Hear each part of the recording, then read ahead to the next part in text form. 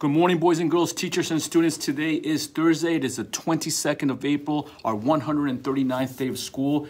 Buenos días, estudiantes de Strawberry Hill. Hoy es el 22 de abril, jueves, día número 139. Please stand for our Pledge of Allegiance.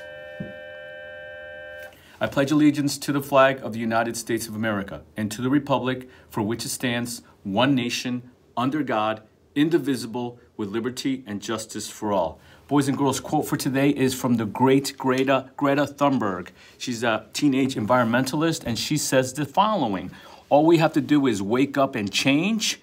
You are never too small to make a difference. Absolutely true. Have a great Strawberry Hill Day. Boys and girls, I'm going to say this announcement live, but to remind students that essential and essential teachers that there is a meeting for all fifth grade virtual chorus members in the auditorium this morning at 9:40 in the morning.